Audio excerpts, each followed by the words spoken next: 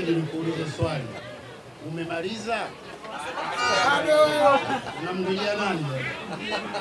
tarehe 23. Ah, 25 au kesho kutwa? 16 na 23. Kwa hiyo huja Hatujamaliza. hatujamaliza ya. Jamani, mimi naitwa Miskisiwa, ndio mkurugenzi wenu katika Simba Sports Club. Nyinyi wote kama alivyosema Ahmed, yuko chini yangu, lakini mimi najihesabu nyinyi ndio mnaniongoza mimi. Lakini kwa leo mimi na ujumbe mmoja tu au miwili ambayo ni lazima nyinyi wanachama wa Simba, mashabiki wa Simba mzingatie. La kwanza, ujio wetu hapa na matembezi haya tunayofanya na umsosi mnaokula, sio kwamba tunasherehekea ushindi. Nataka hiyo muweke kichwani mwenu, isije kawa mtu katoka hapa akafika nyumbani akasema Simba ishashinda leo, kule walikuwa wanasherehekea ushindi. Hapana, hatusherehekei ushindi.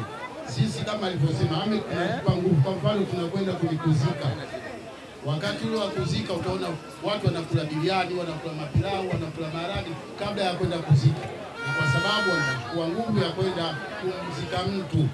Kwa hiyo na sisi tunakwenda kufanyaje? Kwa hiyo lazima tupate nguvu kama hii, tunapata nguvu ya kwenda kumzika mtu.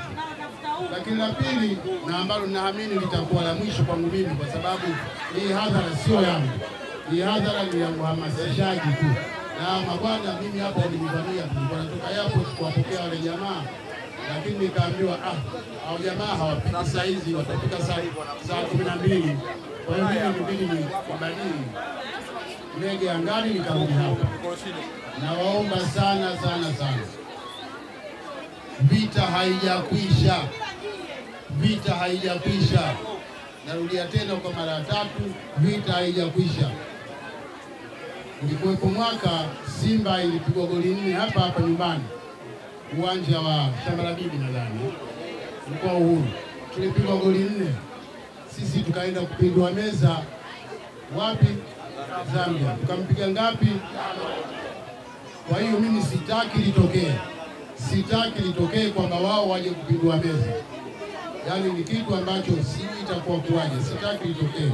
Sasa hili lisitokee lazima tujitayarishe katika staili yoyote iwayo, lazima sisi tushinde kwa staili yoyote iwayo, tujitayarishe tushinde gemu ya Jumapili.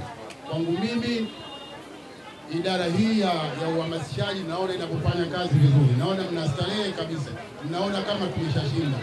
Wanawahamasisha muende mkawashangilie watu uwanjani. Haitoshi ile kukaa nyumbani na kutizama kwenye TV, si, si wakatazi, lakini tukiwa pale, wale wanaocheza wakituona na sisi kule tunashangilia, itatusaidia katika kufanya ushindi uwe mkubwa zaidi au tushinde.